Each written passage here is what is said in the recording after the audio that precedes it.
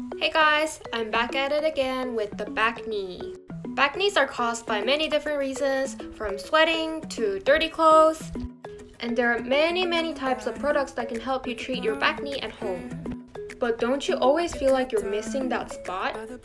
Don't worry, because today I have some products that can really help you clean your bacne and at the same time you won't leave a single spot.